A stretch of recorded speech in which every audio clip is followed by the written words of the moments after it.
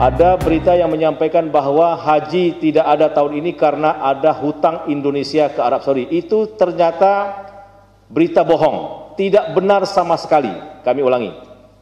Tidak benar kalau ada pihak yang mengatakan ke putusan membatalkan haji ini karena ada hutang negara Indonesia kepada Saudi seperti pemondokan, catering dan lain-lain.